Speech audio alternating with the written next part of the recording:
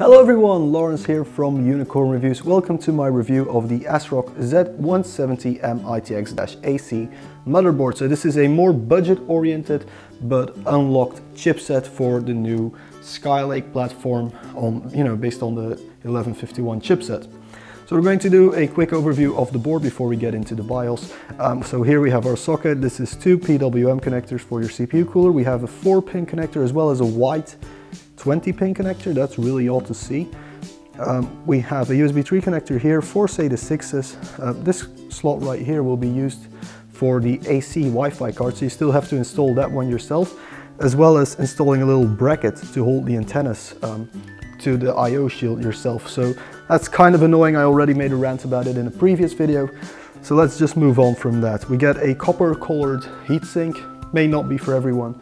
Uh, we get a, uh, a PCI slot here obviously, HD audio, USB 2 and a TWM, TPM connector, all that sort of lovely stuff. We have a 4 plus 2 phase design here to do power delivery. Nothing massive, nothing impressive, but it should be enough for most use. In terms of accessories, we get a really plain looking I.O. shield. We get this Wi-Fi card as well as the bracket you need to secure it to your motherboard. We get two antennas which can flex uh, and we have two SATA 6 cables. That's all. In terms of I.O. we have six USB 3 connectors, two USB 2 connectors. For audio we have microphone in, we have audio out as well as a subwoofer connector. We have a Realtek gigabit ethernet connector and an Intel gigabit ethernet connector. We have a DVI connector uh, for your displays. We also have full-size HDMI and DisplayPort for that, as well as a combined PS2 connector for keyboard and mouse. So the BIOS on this motherboard is fairly simple, yet also a bit complicated because of the way stuff is laid out. So you have your basic main screen like usual, uh, but you also have the OC tweaker Uh, for some weird reason, CPU configuration, which is uh, to do with clock speeds and all that sort of stuff, is separated from voltage configuration, so you constantly have to go through these folders. Bit of an annoyance. Other than that, though, this is fairly, you know, identical to every BIOS ever. Bunch of tools in here. Um, you can browse your files, your drives from the BIOS. It's really nice. You can also internet flash it. Great to have, great feature to have really. It's just other than, you know, the weird layout of the CPU configuration and the voltage configuration, it's pretty nice. Right then guys, we did an overview, we had a look at the BIOS. Right now it's time to do a conclusion on the ASRock Z170M ITX AC. Quite a long name. I'm going to start off in the order of the name. So the board by ASRock, it's pretty cool. Um, however, ASRock has this really annoying um, tendency to make you install the Wi-Fi card yourself, which is a complete disaster. It's so, so annoying that you have to do that yourself. Every other manufacturer does it for you. Moving on though, um, you know, the price point is kind of good, so that maybe makes up for that little bit of extra fiddling you have to do yourself.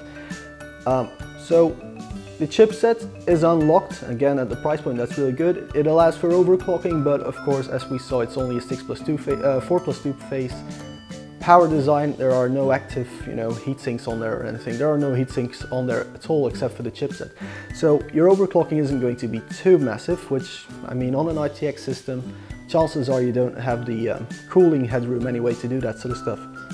So that's still all alright. Uh, but yeah, the Wi-Fi performance is pretty strong. Obviously I can't give you exact numbers because Wi-Fi is always different and what I'm, you know, the results I get won't be the same as the results someone else will get. So Wi-Fi testing is very difficult to do, so I'm not doing it.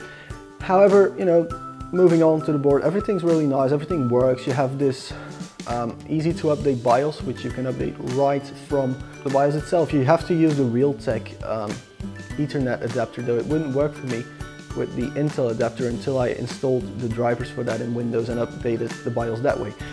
Anyway, Overall, the board is pretty good, and at the price point it's definitely something worth considering if you're going for an ITX build. The way it looks may not appeal to everyone, um, you know, it has all the features, but it's not too, you know, it doesn't have all the fancy features that some boards have. Anyway guys, like this video if you liked it, dislike it if you dislike it, subscribe to Unicorn Review so you can get a free update every Friday at 7 when I put a new video up. I also put them up on Tuesdays sometimes when I have, you know, enough content ready for you guys. And um, yeah, you can follow me on Twitter, on Facebook, you can support the channel on Patreon, and I guess to finish off, a thank you very much for watching.